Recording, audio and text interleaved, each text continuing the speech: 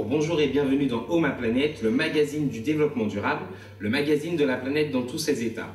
Aujourd'hui, Oh ma planète a choisi d'aller dans le Pacifique, à Bora Bora et Papette, pour parler de la question euh, des envahissants, enfin plus globalement de la fragilité euh, de ces îles. Euh, avec Jérôme de Bernardi. Jérôme de Bernardi, bonjour. Bonjour. Alors, Bora Bora, Papette, est-ce que c'est bien de ce point de vue, du point de vue de la question de la fragilité, est-ce que c'est les mêmes enjeux? Non, ce ne sont pas les mêmes enjeux, euh, sachant que Tahiti est bien sûr l'île la plus exposée. C'est l'aéroport international, l'aéroport international, il y a beaucoup de transit. Donc, euh, effectivement, beau- beaucoup de circulation, beaucoup de... et Alors qu'à Bora Bora, euh, À Bora Bora, la situation est différente parce qu'il y a beaucoup d'hôtels de luxe. Donc, on se retrouve sur les moutous autour de l'île. Donc en fait, il y a, il y a peu d'activité dans l'île elle-même. A encore moins euh, en montagne, en fait, où les gens ne vont pas. Alors on a peut-être entre guillemets une invasion euh, à la fois de, de- de plantes et mais aussi une invasion euh, toujours avec des guillemets d'animaux. Alors en- entre guillemets, je ne sais pas, parce qu'à Papette, il y a un réel problème de plantes invasives, notamment avec les myconia. D'accord. Euh, après, pour les espèces animales, Parce qu'il y a des animaux plutôt sympathiques comme des oiseaux. J'imagine que c'est pas eux qu'on car- qu'on caractérise d'envahissants. Non, après, ben, on ne peut pas les car- caractériser d'envahissants. Euh, après, c'est surtout avec l'introduction de cer- certaines espèces animales pour euh, essayer d'en éradiquer d'autres. Donc pour les plantes, on a l'exemple du myconia, un exemple comparable en ce qui concerne les animaux? On, on avait introduit certaines espèces d'oiseaux pour combattre les rats, et au final, euh, ces espèces d'oiseaux ne mangent absolument pas les rats. D'accord. Donc on cherchait bien plus simple, ils vont manger d'autres oiseaux qui sont beaucoup plus faciles à donc là, du coup, ça veut dire qu'on s'est un peu trompé en l'occurrence. On s'est même complètement trompé, oui. Donc maintenant, pour les rats, bah, on empoisonne ou on piège. C'est beaucoup plus simple. Jérôme de Bernardi, euh, merci. Tout de suite en image, la fragilité des îles.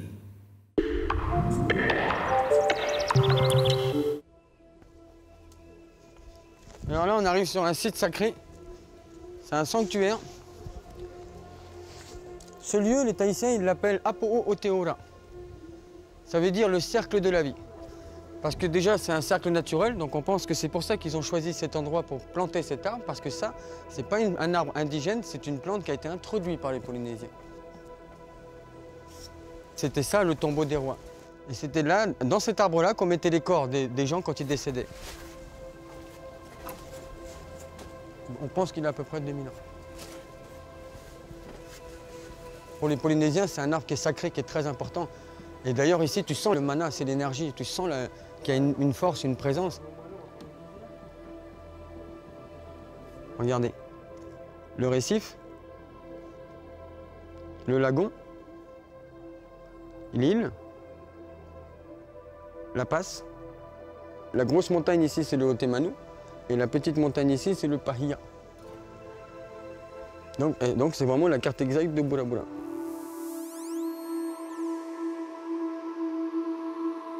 Polynésie française. 118 îles au milieu du Pacifique, dont 80% sont habitées. Parmi elles, Tahiti et Bora Bora. Bora Bora est une des îles sous le vent. On l'appelle aussi Maitepora, créée par les dieux. Entre la frange littorale et les forêts d'altitude poussant à plus de 700 mètres de hauteur, les habitats sont très diversifiés. Sur les hauteurs, la luxuriance de la végétation tropicale fascine les visiteurs. Sur les îles basses, à cause des vents et des embruns, on compte moins d'espèces. La biodiversité terrestre de la Polynésie française est, à la fois euh, très originale hein, et euh, très menacée. Elle est originale parce qu'on a euh, énormément de- d'espèces qu'on appelle endémiques de la Polynésie française. Endémiques, c'est-à-dire localisées géographiquement uniquement en Polynésie française. Jean-Yves Meyer, biologiste de la conservation à Tahiti, étudie les origines des espèces végétales. On peut dire qu'il y a eu deux vagues d'introduction. Une première vague qui est une vague d'introduction par les, premiers Polynésiens et une seconde vague d'introduction par les Européens, donc à partir du XVIIIe siècle, et qui se, qui, se continue aujourd'hui. La différence entre les deux vagues d'introduction, c'est qu'à l'époque polynésienne, les Polynésiens ont introduit à peu près une trentaine de plantes, euh, de façon donc intentionnelle, et puis une trentaine de façon accidentelle, comme mauvaises herbes de culture. Alors que depuis la période européenne, on, est, on a eu une introduction de plus de, de 1500 plantes euh, en Polynésie française.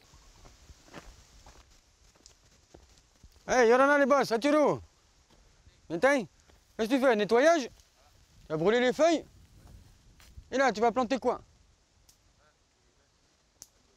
Taro Manioc Ah, tu vas mettre du manioc Tu vois, ils arrachent toutes les mauvaises herbes et ils le brûlent. Parce que s'ils n'arrachent pas la mauvaise herbe, la végétation elle pousse tellement vite que ça va recouvrir les bananiers, les papayers ça va les tuer. C'est le fameux liseron, donc on peut considérer ça comme une peste végétale.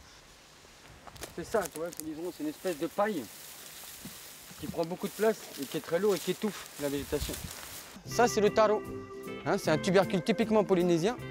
Nordine, euh, désormais Tama Atea, nom que lui ont donné les Polynésiens et qui signifie l'enfant qui vient de loin, est guide de randonnée sur l'île de Bora Bora.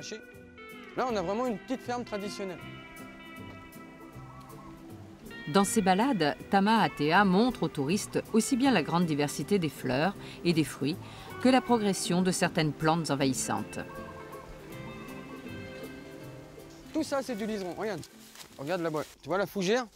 Donc là, regarde, on a une variété, celle-ci qu'on appelle Amoua, qui est en train de crever parce que... Voilà, ça c'est une belle fougère. Ça c'était indigène. Regarde, c'est la dernière. Pourquoi? Parce que lui, il les a étouffés. Par contre, dès que tu rentres dans la végétation, regarde, là, il y a plein de fougères. On vient de rentrer sous la canopée, hein, le toit en fait végétal. Et lui, comme il a besoin de soleil, bah, il s'arrête là. Et là, par contre, les fougères, elles, reprennent leur droit.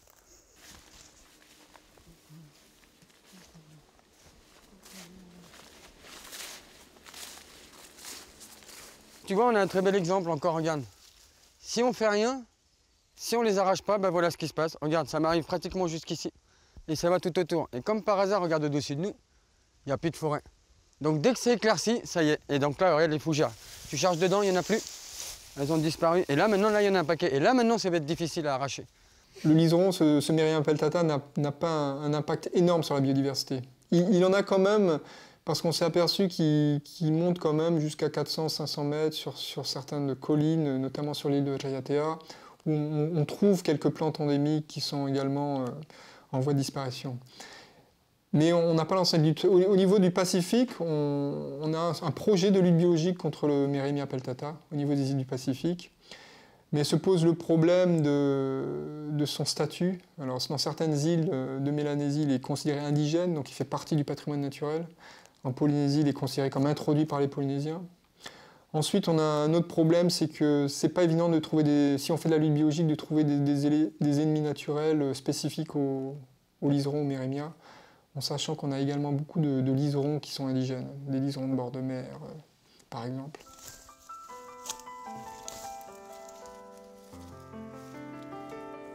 Les temps ont changé. Aujourd'hui, les cultures originelles sont laissées à l'abandon, car peu de jeunes s'y intéressent. Alors là, tu vois, on est dans une magnifique forêt de manguiers. Et ces manguiers, ils sont centenaires, voire millénaires. Cette forêt a été plantée par les ancêtres. Et ce que je trouve dommage aujourd'hui, c'est que regarde, il y a des milliers de mangues au sol, personne ne vient les ramasser. Et quand tu penses que la plupart des mangues qu'on achète au magasin, bah, ça vient de Nouvelle-Zélande, parce que et donc ça coûte très cher parce que l'avion, le, le, fret et tout ça. Alors qu'ici, un, c'est gratuit, il y a juste à se baisser pour ramasser.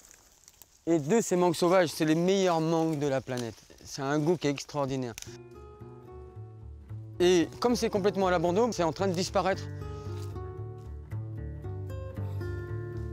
Par rapport aux autres grandes îles de la Polynésie, Bora Bora est une île plutôt bien préservée.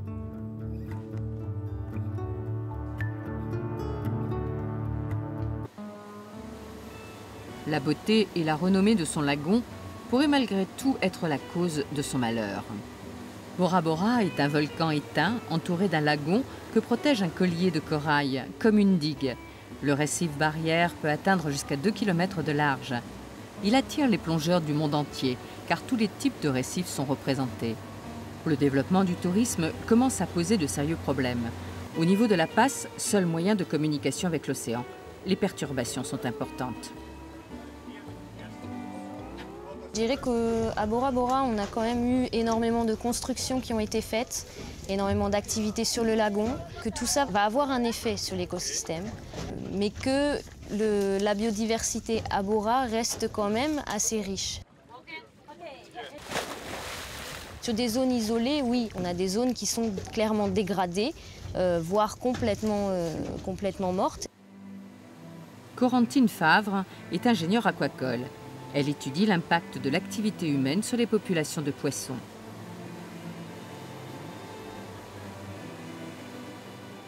l'objectif de la plongée là aujourd'hui, c'est de faire un suivi d'une zone bien définie à l'extérieur du lagon, qui est une zone de plongée euh, à Bora Bora.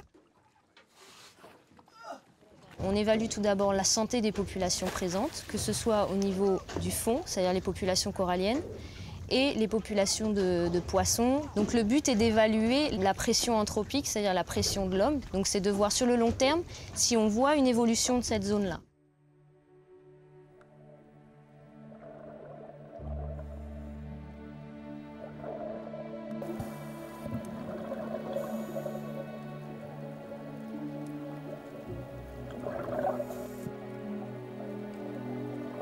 Alors ce qu'on voit typiquement sur ce genre de zone, c'est la présence de requins citrons de très grande taille qui ont, c'est sûr, été au départ attirés à cet endroit-là euh, par du nourrissage.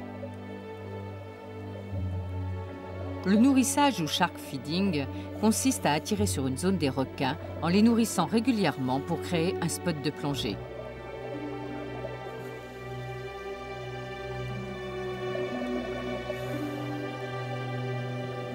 Aujourd'hui, le nourrissage a extrêmement diminué. Mais ce qu'on remarque aussi, c'est que la présence de ces requins n'empêche pas non plus la présence des autres espèces de poissons qui sont présents en proportion euh, correcte pour une zone de l'extérieur.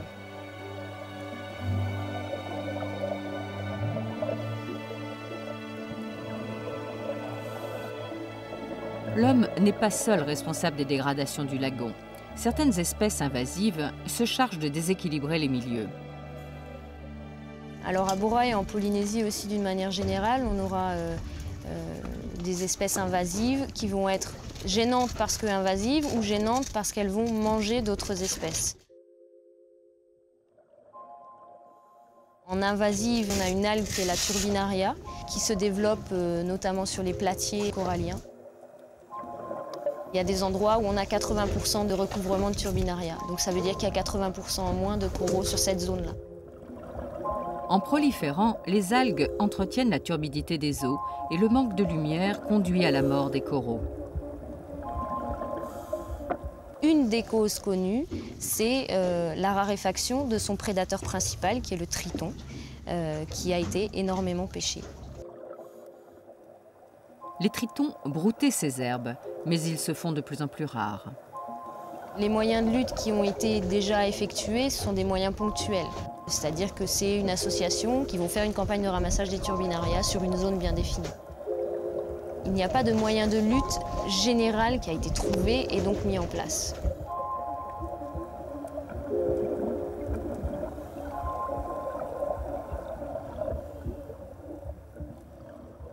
Donc Corentine, voilà ce qu'on a remonté ce matin, une, une taraméa. Oui. Donc c'en est, est infesté, apparemment il y en a moins, mais il y en a encore trop d'après nous. Comme dans de nombreuses mers du monde, la taraméa ou acantaster s'est largement développée. Elle apparaît et disparaît par épisode, sans que l'on sache très bien ce qui rythme sa prolifération. Pour le moment, il n'y en a pas trop dans le lagon, on en voit surtout en extérieur. Bien qu'on commence à en voir au niveau de la passe, là, ça commence à rentrer tout doucement. Euh, donc pour le moment, le corail est à peu près préservé à l'intérieur. On parle d'explosion de taraméa. C'est vraiment une quantité énorme de ces organismes qui passent et qui forment un tapis et on peut voir les coraux qui sont en bonne santé avant le passage de ce tapis et derrière eux, tous les coraux sont blancs. Ils ont mangé tous les polypes de coraux, c'est-à-dire les petits individus qui vivent dans, un gros corail. Dans les eaux du lagon de Bora, requins gris, marteaux, tigres jouent encore les stars devant les objectifs des photographes amateurs. Mais les gardiens du lagon connaissent la fragilité des équilibres à respecter.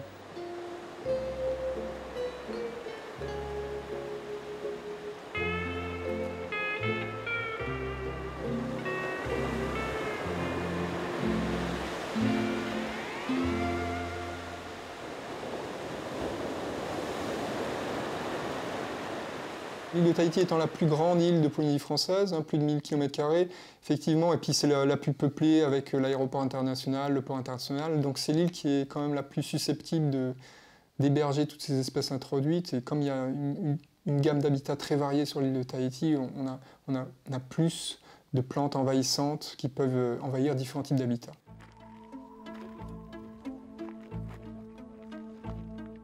Les scientifiques sont plus nombreux sur Tahiti. Jusqu'à présent, la plupart des recherches ont porté sur les zones lagunaires et la connaissance du milieu terrestre est encore limitée, fragmentaire ou ancienne.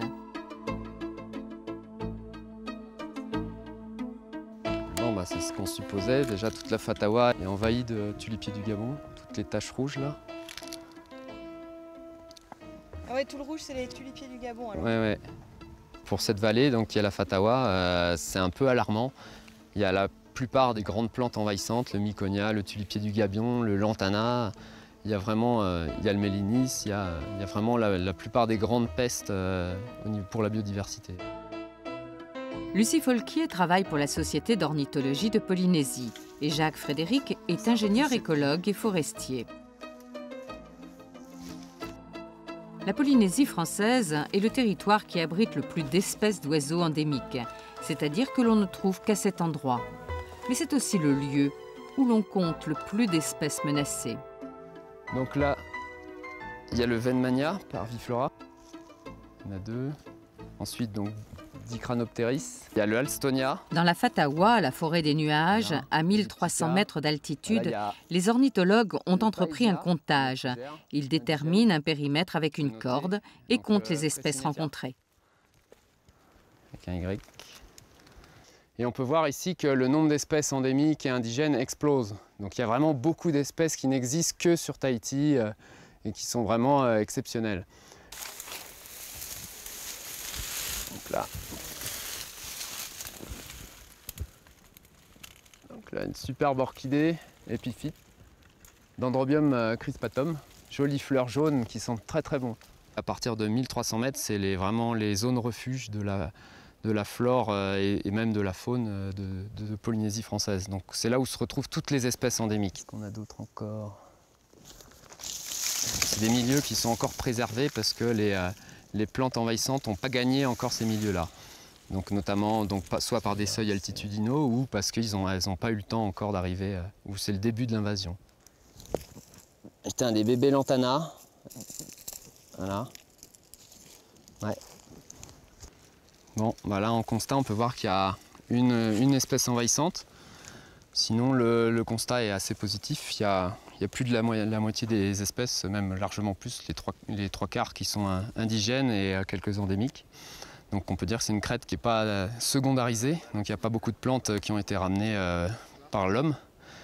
Le lantana, une fois qu'il est arrivé à un endroit, il a une tendance à arquer ses branches, et les branches retouchent le sol et se réenracinent. Donc ça crée encore une autre, une autre touffe et au fur et à mesure ça s'étend, ça s'étend, ça s'étend, ça s'étend. Donc on peut voir celle-ci, elle va, elle va coloniser toute la, toute la crête à terme. Et si en plus donc il y a euh, des changements climatiques ou autres, ça peut euh, faire monter d'autres espèces qui étaient tenues par le froid.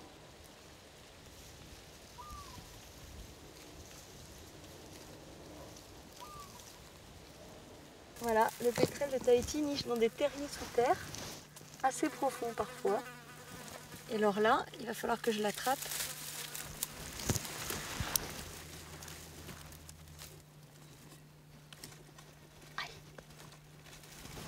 Oh, il est vigoureux.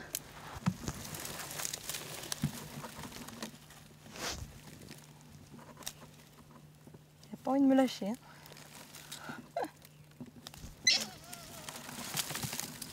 Je vais lui mettre une petite bague à la patte donc pour euh, pouvoir l'identifier.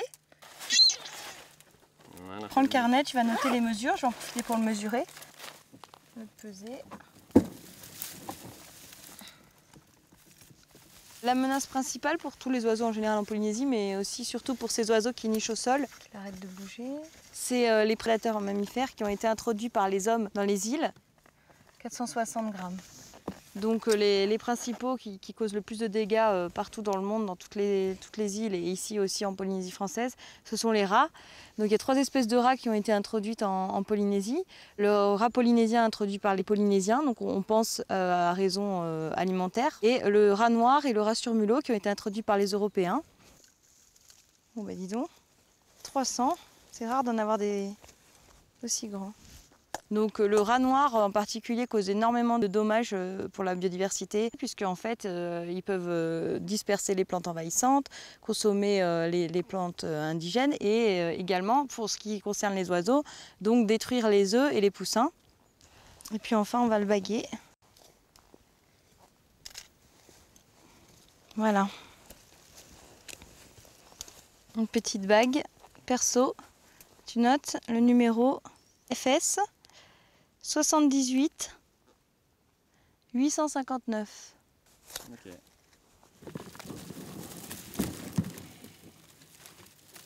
L'autre prédateur euh, qui a un impact très important, c'est le chat.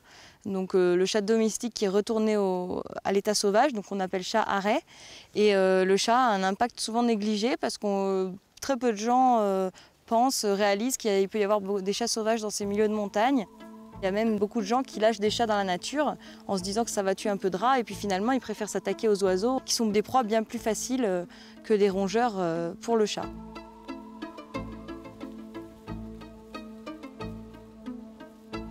Mais les scientifiques aussi ont fait des introductions hasardeuses. Il y a eu euh, le busard de Gould, qui est originaire d'Australie, qui a été introduit fin du siècle dernier, pour lutter contre les rats, puisque c'est un rapace et qui se nourrit de petits mammifères entre autres. Et donc les gens l'avaient introduit en pensant qu'ils allaient, que cet oiseau allait contrôler les, populations de rats. Euh, en fait, on s'aperçoit qu'il préfère euh, les proies faciles comme justement les oiseaux indigènes, alors qu'on n'a pas constaté une diminution des effectifs de rats euh, pour autant.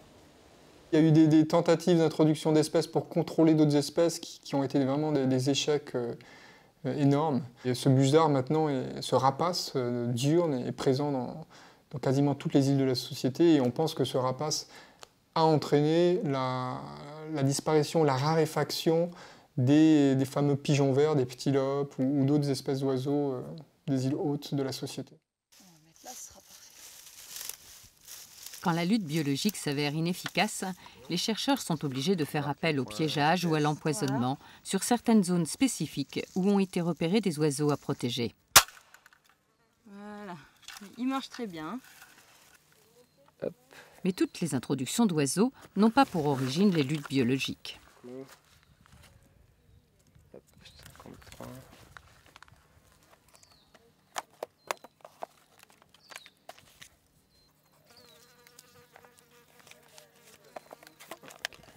Ensuite, on a eu des introductions euh, plus récentes, par exemple euh, du bulbule dans les années 70.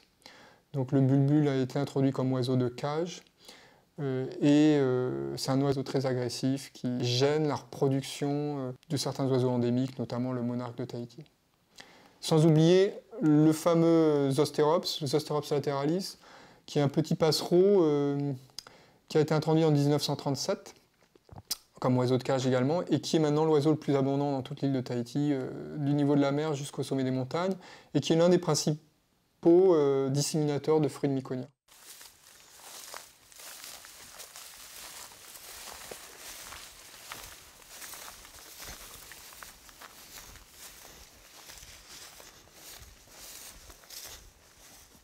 Là, on est vraiment en cas d'invasion euh, totale. Donc là, tu as le pis-pis, donc le, tulipier du Gabon, et le myconia qui a tout envahi. Donc là, on est vraiment au stade euh, terminal de l'invasion où il n'y a que lui, quasiment. Tu vois, il y a, quoi Il y a, y a 5 espèces, euh, alors qu'en haut, on est 50, 50 euh, espèces pour 100 mètres carrés. Ouais, ça fait carrément des arbres là.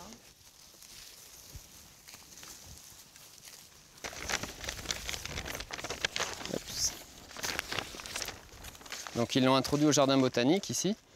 Et en fait, en, de 1937 jusqu'à nos jours, il s'est étendu complètement ici.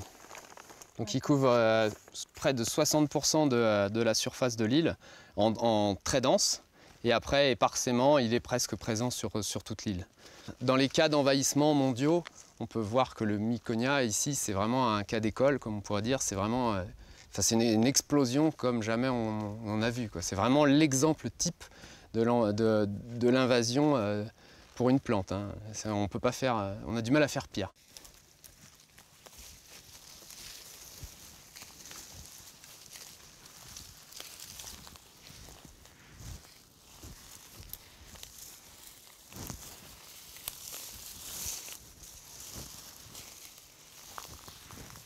Donc à Tahiti, 60% de l'île est couverte, l'arrachage ne sert plus à rien. Donc du coup, il y a eu euh, une étude de fait sur une lutte biologique. Donc, euh, donc les chercheurs ont trouvé au Brésil un champignon qui s'attaque spécifiquement à ce myconia. Donc on peut le voir. Donc il y a eu des études pour tester la spécificité de ce champignon sur d'autres espèces endémiques pour voir s'il ne va pas manger d'autres espèces. Donc tous les tests ont été concluants. Donc ça a été fait à Hawaï. Donc il a été introduit à Hawaï. Et ça a été fait ici et il a été introduit en 2000 en Polynésie française. Donc on peut voir maintenant, il, s'est très bien propagé partout. Donc il y a eu plusieurs inoculations.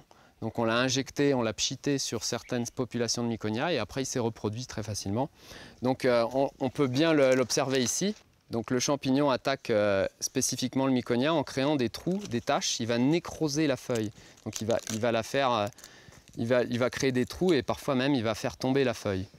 Donc, on pourrait dire que c'est une attaque mineure. Sur le myconia, ça ne fait pas peur. Ça ne va pas tuer non plus les adultes. Bon, ça va clairement freiner les, euh, juvéniles. Les populations qui étaient euh, des, milliers de jeunes, peut-être, vont passer à des centaines. Mais ce qui est très important, c'est que le myconia, comme on peut voir en sous-bois, c'est très très sombre. Donc les plantes indigènes n'arrivent pas à pousser puisqu'elles n'ont plus de lumière, alors qu'elles étaient habituées à avoir beaucoup de lumière. Donc le fait de faire des trous dans les feuilles va augmenter la lumière en sous-bois. Donc va relancer toutes les plantes indigènes qui sont en graines ou dormantes.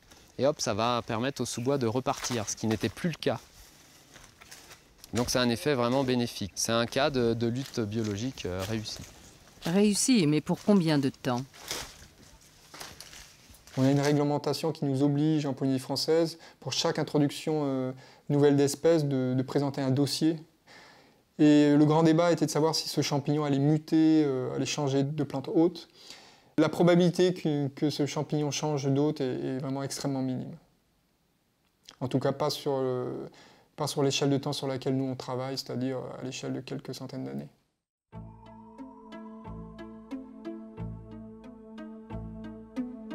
Reste à appliquer dans ces écosystèmes fragiles la réglementation draconienne concernant l'introduction de nouvelles espèces dans les îles. Malheureusement, si les lois existent, le nombre d'agents pour les faire appliquer est trop infime.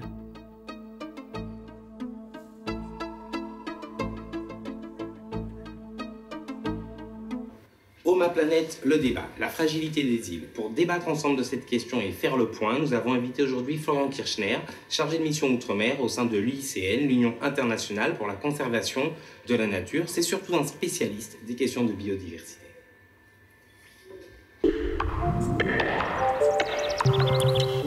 Chose promise, chose due. La fragilité des îles, c'est le débat de Oh ma planète avec nous sur ce plateau pour débattre. Florian Kirchner, vous êtes euh, spécialiste euh, des dom-tom au sein d'une organisation qui s'appelle l'UICN. C'est quoi l'UICN C'est l'Union internationale pour la conservation de la nature. D'accord, on y revient dans un instant. À vos côtés, Yves Lers, Yves Lers qui est journaliste, qui est euh, chaque semaine notre, notre sage, notre, celui qui donne un peu de hauteur à, mes propos parfois trop euh, terre à terre. Et puis toujours, euh, maintenant vous connaissez le principe, Oh ma planète, c'est d'abord votre émission. Et donc, chers téléspectateurs, chères téléspectatrices, vous avez sur le plateau des représentants et des représentantes que je dénomme ici le public. Vous parlez quand vous voulez, en levant la main, puis en vous saisissant du micro. Et n'hésitez pas à intervenir pour que ce débat soit le plus vivant euh, possible. Ma première question s'adresse à vous, Yves Lers. Ça y est, j'espère bien que je vous ai pris euh, euh, de court. Alors finalement, cette question des, cette question des, des envahissantes, on en a déjà parlé lorsqu'on parlait euh, dans Oh ma planète, dans une émission précédente de la Réunion. Est-ce que est-ce que c'est le même thème? Est-ce que c'est un peu comparable ou est-ce que la situation est réellement différente? C'est le même thème, mais la situation est différente. Je ne sais pas si la réponse vous convient. Réponse excellente. Le... Développée. Et c'est vrai en plus. La Réunion, c'est une île qui est petite avec plus de 700 000 habitants et un habitat qui est très très concentré sur le littoral. La Polynésie, c'est complètement différent. C'est des dizaines et des dizaines d'atolls, certains plus gros que d'autres, qui ont souvent été très peu peuplés. Il y a combien? 200 000, un peu plus de 240 000 habitants 260 000. 260 000 habitants maintenant sur, l'ensemble. Ça ne veut pas dire que les atolls ne sont pas peuplés, au contraire. Et puis une richesse endémique qui est fantastique, quoi, qui est quelque chose d'absolument unique avec des espèces euh, qu'on trouve nulle part ailleurs. Florent Kirchner, justement, justement sur, sur, cette richesse endémique dont parle Yves mais effectivement, la biodiversité, c'est ce qu'on appelle un, point chaud de la biodiversité mondiale. Extrêmement riche en biodiversité, mais aussi extrêmement menacée.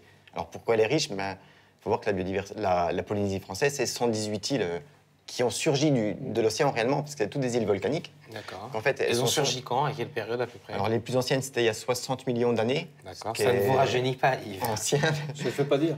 Au contraire. Mais c'est une histoire géologique assez récente, même si c'est des millions d'années en fait, quand elles ont surgi, mais elles étaient vierges de toute vie, elles ont été colonisées petit à petit de plantes et d'animaux, alors qu'ils sont toutes arrivées par l'océan. Hein, donc des, graines de plantes flottant sur l'eau, des, euh, des oiseaux. Avant les humains. Bien avant les humains, oui, effectivement. Des oiseaux par les airs, et puis même des petits reptiles comme des geckos, alors on imagine sur des bois flottants qui sont arrivés sur ces îles, qui petit à petit se sont peuplés. Et comme il y a 160, 118 îles, pardon, euh, chacune de ces îles est devenue euh, un petit écosystème avec euh, ses faunes et ses flores très originales. Donc c'est très différencié entre ces 118 îles, c'est-à-dire que chaque îlot a un peu sa propre, sa spécificité d'une certaine manière? Alors, Parfois oui, des fois non, mais on trouve effectivement des espèces endémiques d'un archipel seulement et parfois même d'une île. L'exemple de l'île Rapa L'exemple de l'île Rapa dans l'archipel des, Australes est, excellent. L'hydra quoi, pardon Moi je sais que vous êtes entre spécialistes, excusez-moi de vous déranger. L'hydra comment L'île Rapa. L'île Rapa. Voilà, qui est une petite île de 40 km où il y a, je ne sais plus combien, 300 espèces animales et végétales endémiques. Ce qu'il faut voir pour euh, Rapa, c'est que la superficie de Rapa est plus petite que Paris intramuros. C'est vraiment petit. Et on trouve sur cette seule petite île 68 espèces de papillons endémiques, 67 espèces de plantes, de, poissons également. Alors endémiques, ça veut dire qu'on les trouve que là. Une richesse importante, mais aussi malheureusement des menaces importantes, disiez-vous, pour ces points chauds de, la biodiversité. Tout, n'est pas comme rapport. Menaces de quel ordre Exactement. Alors, différents types de menaces. la destruction des habitats naturels, bon, pour la mm. conversion des habitats naturels en, en zone pour l'agriculture ou en zone urbanisée. Bon, ça, c'est une menace classique. C'est Tahiti, quoi. C'est notamment. destruction euh, des. Tahiti. Enfin, destruction, voilà, des destruction des, des Pour l'agriculture, bon, on voit très bien. Ou l'urbanisation, c'est-à-dire euh, le logement, la ville qui s'étend, très bien. Euh, d'autre part, des, bah, des, prélèvements, en fait. Hein, tout ce qui est euh, pêche, euh, tant que c'est, ça respecte le renouvellement de la ressource, c'est pas une menace. Quand la pêche devient plus importante que ce que nous produisent les écosystèmes, ça devient une menace. Aujourd'hui, justement Oui, c'est le cas. C'est le cas sur certaines espèces. C'est le cas aussi pour des plantes. Hein. On parle beaucoup du tiare apetaï, qui est une plante qui, est, qui, est, très utilisée en Polynésie, qui est associée à des cérémonies, qui malheureusement aujourd'hui est tellement prélevée qu'elle est, est, menacée. C'est la fleur, exactement très jolie fleur euh, ben, qui, qui, est associée à l'image de la Polynésie, hein, donc elle a une valeur culturelle euh, extrêmement forte. Et que, lorsque vous dites qu'elle est très, très prélevée, c'est pour euh, l'usage local, c'est-à-dire que c'est l'utilisation par la population, de par ses coutumes, de cette fleur qui, qui fait qu'elle est menacée, ou alors c'est parce que d'autres venus d'ailleurs convoitent cette fleur pour sa beauté, pour ses applications les deux oui, peut-être les deux, mais c'est comme surtout l'usage local. Alors, tant qu'il est réservé à certains événements, ça pose aucun problème. Le problème, c'est que quand ça devient systématique, il y a un moment où c'est trop. localement, euh, localement, selon vous, on a assez conscience de la, de, la fragilité de, certaines espèces, justement? Euh, oui, alors en tout cas, il y a des associations qui se mobilisent, qui sont très très conscientes des problèmes sur certaines espèces. Il y a des associations polynésiennes extrêmement bonnes et expertes de, ces sujets et qui essaient d'alerter notamment les, milieux politiques sur ces sujets. Et la population? Alors la population, euh, ça dépend, mais bon, ça c'est un, un, sujet intéressant, c'est-à-dire que quand, quand on relie en tout cas des, problématiques de, patrimoine naturel, de coutumes, etc., à la durabilité de ce, de ce patrimoine, c'est des choses qui sont très facilement comprises euh, par la population. Alors c'est dans ce cas-là, c'est très bien quand c'est des gens de, de Polynésie qui, qui, font ce travail, en fait, qui, qui, vont dans les archipels, qui expliquent ces problématiques. Donc là, c'est le cas, on a un peu ces associations qui qui sont un peu des lanceurs d'alerte en, la matière. Est-ce que vous avez le sentiment que les politiques entendent euh, un message assez simple? Il faut faire attention, il faut préserver. Vous avez le sentiment que les politiques sont, ont compris ce, type d'intervention? Alors, il faut bien reconnaître qu'il y a toujours un, retard, et des fois, le retard est tellement long qu'on met en péril certaines espèces. Par contre, il y a quand même des choses très intéressantes qui se passent avec les tortues marines qui sont très menacées, mais aujourd'hui euh, protégées, avec les requins qui sont victimes de la surpêche, mais aujourd'hui, certains protégés également. Et puis, euh, et puis les, espèces envahissantes. Hein, dont, Protégées sur le papier? Alors, euh, sur, le papier, oui. Et puis, ben, il y a des contrôles. Alors, le, tout est de savoir s'il y a assez de moyens pour effectuer les contrôles comme, comme il le faudrait. dire qu'il n'y a pas assez de moyens, plutôt. Point d'interrogation. Point d'interrogation, oui. C'est une question ou une affirmation, Yves? Je crois que c'est une affirmation, excuse-moi. Une affirmation que vous partagez? Alors, sur certains sujets de braconnage, oui, il y a, il faut prendre en compte la spécificité des 118 îles. Il est évident qu'on ne peut pas surveiller le braconnage sur chacune des îles. La troisième menace dont on n'a pas parlé, qui est une menace très forte, c'est toutes ces espèces qui ont été introduites par l'homme et qui aujourd'hui sont une vraie menace pour les faunes et les flores locales. Est-ce que, est que, vous pouvez nous donner des exemples de ces espèces euh, introduites par l'homme? Oui, alors il y, a, il y a, des plantes. Hein. On peut parler du Miconia, qui est une espèce euh, ornementale introduite sur Tahiti. Qui, qui venait d'Amérique du Sud, non? Qui venait d'Amérique du Sud, oui, qui est, donc, qui est jolie, avec des, grandes feuilles, qui a été introduite en 1937 parce qu'elle était jolie, et qui aujourd'hui se plaît tellement bien sur place qu'elle occupe les deux tiers de l'île de Tahiti. Elle a prospéré, elle prend tout son espace. Voilà. Alors, bon, si elle prospérait juste, euh, juste pour elle, ça serait peut-être pas un problème. Le, problème, c'est qu'elle menace les espèces indigènes. Qu'elle fait au détriment d'autrui. Comment, comment dans, un, euh, dans le cas qui nous occupe, comment on lutte euh, comme ça? Je, sais que par exemple, on, on pense encore à utiliser des processus de lutte biologiques. Est-ce que ça vous paraît être la bonne solution. Mais là, dans ce cas-là, oui, je crois qu'il y a eu quelque chose de fait. Dans ce cas-là, c'est plutôt positif. Ce qu'il faut voir dans ce cas-là, c'est qu'on n'arrivait pas à s'en sortir. C'est-à-dire qu'une plante qu'on introduit, on peut l'arracher. Sauf que quand elle euh, occupe des centaines et des centaines d'hectares, on ne peut plus l'arracher. Si on n'a pas de solution de lutte chimique, sachant que la lutte chimique, ben, c'est des pesticides, donc c'est de la pollution, si on ne peut pas l'éradiquer comme ça, il ne reste plus que la lutte biologique. Mais est-ce qu'il n'y a pas des effets pervers à cette lutte biologique? Est-ce qu'il n'y a pas quelques cas où, euh, en gros, on a voulu jouer au plus malin avec la nature et comme la nature est souvent plus maligne que nous, ça s'est retourné euh, comme un boomerang Tout à fait. En fait, ça dépend comment on la met en œuvre. Sur le Myconia, pour le moment, on a des premiers résultats d'introduction d'un champignon.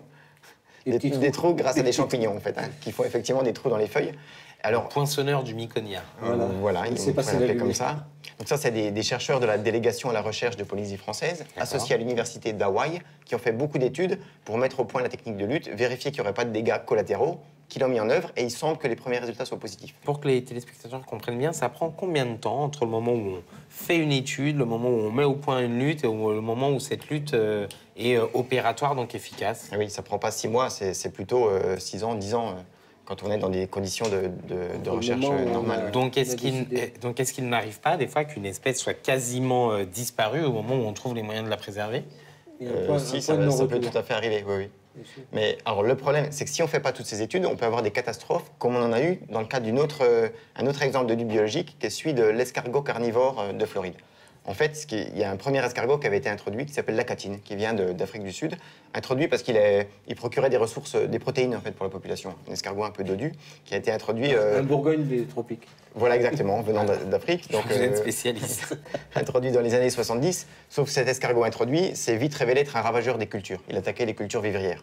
Donc on s'est dit, pour s'en débarrasser, on va utiliser la lutte biologique. On va introduire un autre escargot carnivore qui attaquera le premier. Ce deuxième escargot, introduit quelques années après le premier, l'escargot carnivore de Floride, s'est bien attaqué à l'espèce cible, comme on le voulait, mais aussi à toutes les autres espèces d'escargots endémiques. Et ce qu'il faut savoir, c'est que la Polynésie française est très riche en, notamment en escargots arboricoles, hein, des, des, partulas. Il y a plus de 300 espèces d'escargots arboricoles. Et cette seule espèce introduite, l'escargot carnivore, a entraîné aujourd'hui la disparition de plus de 50 espèces d'escargots endémiques. Et, et, donc, et, donc, lorsqu'on est face à un phénomène comme ça, c'est réversible? Et malheureusement, c'est pas réversible. Comme ces escargots disparus sont endémiques, on les trouvait que là, que en Polynésie française. Ils, ont disparu.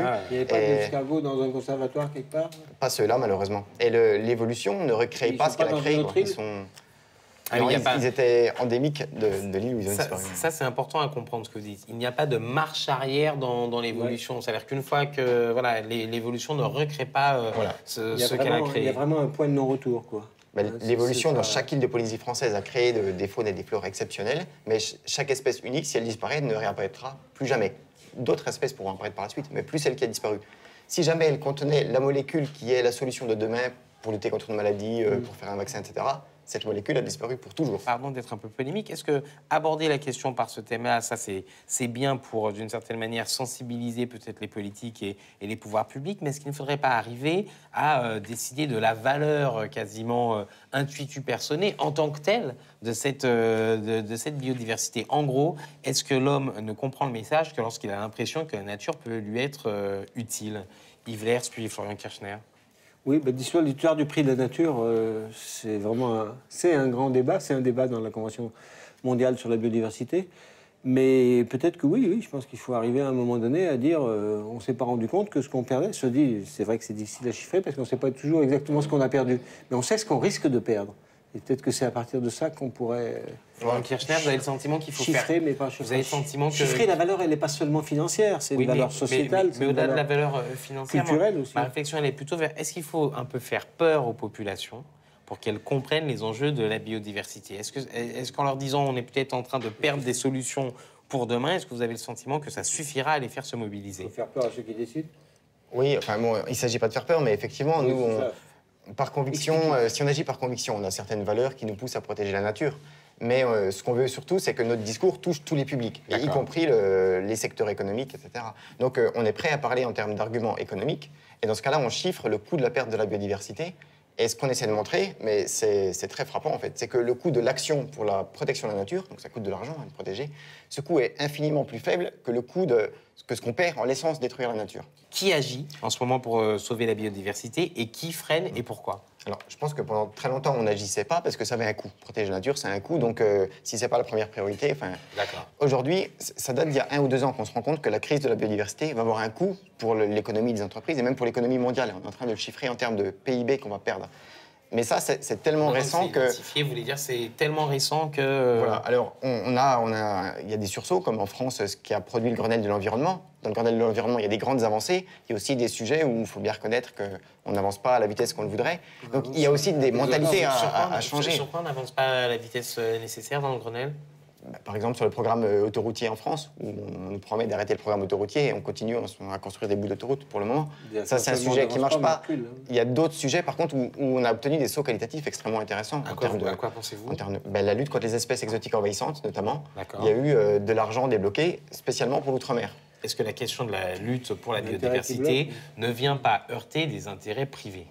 Ah ben, en partie, oui. C'est-à-dire que les intérêts sont en partie convergents. Quand Ah, on dit que préserver la leur c'est. Mais il faut qu'il fasse tout dans cette émission. Mais- L'animateur, l'invité, les questions, les réponses, allez-y. Mais ça, c'est pas une nouveauté en fait. hein. Mais effectivement, il y a des intérêts en partie convergents, protection de la nature et euh, développement des entreprises, et il y a des intérêts euh, contradictoires, c'est c'est certain. Avez-vous l'impression aujourd'hui que le cadre réglementaire, le cadre législatif est, suffi- est allé suffisamment loin pour, euh, en l'occurrence dans le cadre de la Polynésie, pour, euh, pour protéger euh, la biodiversité à la hauteur à laquelle elle mérite d'être protégée La Polynésie française, c'est un exemple très intéressant parce que sur certains sujets, ils sont exemplaires pour- par rapport à l'outre-mer français, notamment sur les espèces exotiques env- envahissantes. Ils ont la réglementation la plus précautionneuse sur le problème. En fait, ils ont fait comme la Nouvelle-Zélande, qui est souvent citée en exemple. La Nouvelle-Zélande a fait quoi?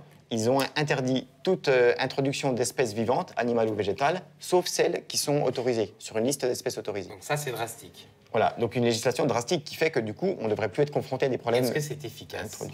C'est efficace euh, en Nouvelle-Zélande? C'est efficace Ça en Nouvelle-Zélande. Non, mais justement, et- ça, ça- ça a donné des résultats en Nouvelle-Zélande? Ben, tout à fait, ça, ça limite fortement les introductions. Ce qu'il faut voir, c'est qu'en Polynésie française, aujourd'hui, il y a 1800 plantes qui ont été introduites, contre 900 plantes indigènes. Donc aujourd'hui, il y a plus de plantes introduites que d'espèces euh, qui sont euh, locales en Polynésie française. Donc il y a vraiment une vague d'introduction. La meilleure façon d'agir, c'est quand même déjà de commencer à bloquer cette vague d'introduction.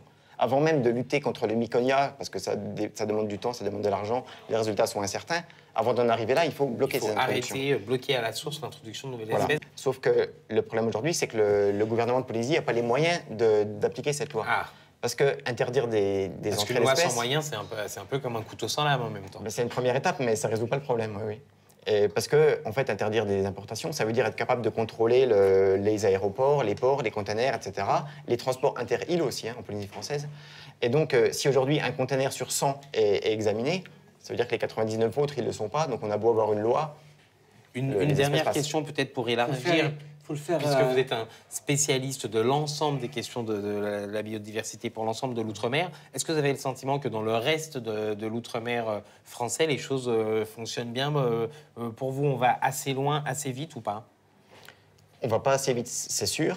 On a sur- seulement pris conscience du problème il y, a, il y a quelques années, mais il y a des collectivités, donc comme la Polynésie française, comme la Nouvelle-Calédonie, comme la Réunion, qui sont en train de prendre le, le problème réellement à bras le corps, et on espère que, le- que les choses vont progresser rapidement euh, rapidement. Bien, Florian Kirchner, je vous euh, remercie. Yves Lers, je vous remercie également d'avoir participé à ce débat. Je vous propose qu'on prenne rendez-vous pour faire un, point d'étape régulièrement, d'ailleurs, sur ces questions de, biodiversité. Je remercie euh, mes amis du public. Les mains se sont levées. Je ne vous ai pas donné la parole. Pardon, mille fois pardon, mais nous avions beaucoup de choses à dire autour de cette table. En tout cas, n'oubliez pas, euh, Oh ma planète, c'est bien euh, votre émission. Et sur le même sujet, nous allons naviguer ensemble vers d'autres flots. Ce coquillage au sommet des tours, c'est Crépidula. Les crépidules sont arrivés dans les parcs à huîtres de Binic, sans doute, euh, qui se situent ici au large. Et donc les, premières, les premiers arrivages se trouvent ici, puis progressivement ont gagné sur l'ensemble de la baie. En 1970, les huîtres françaises sont ravagées par un virus. On importe alors des huîtres japonaises. Et c'est sur leur dos que Crépidula serait arrivé sur nos côtes. Aujourd'hui, son domaine s'étend jusqu'à 25 mètres de profondeur à travers les 800 km de la baie de Saint-Brieuc et les 30 000 hectares de la baie du Mont-Saint-Michel. Élevée au triste rang d'espèce dominante, elle menace les principales ressources de coquillages et bouleverse l'économie des pêcheries locales. Désormais, les fonds sableux sont pour la plupart colonisés par des cohortes de crépidules qui occupent l'espace, prélèvent le phytoplancton et encrassent chaque année la baie de leur propre poids en déchets. J'ai voulu aller dessus euh, en juin et j'ai constaté que le, territoire était envahi de nouveau euh, par les crépidules. Donc je me suis rabattu euh, sur une autre partie où il y avait un peu moins de travail. Sur 500 hectares, il y a 250 à 300 hectares d'exploitables. Le reste, c'est envahi par les crépidules. Le pont est envahi les marins n'ont plus où poser les pieds. Soudain, on se prend à douter qu'une telle peste ait pu se développer impunément en l'espace de 20 ans. Une fois la, pêche effectuée, nous amenons la cargaison à terre. Les déchets passent ensuite dans cette chaîne qui broie les crépidules en sable coquillé euh, assez fin. Ensuite, euh, nous le distribuons aux, paysans. Ils épandent dans leurs champs et ce qui fait un bon engrais naturel.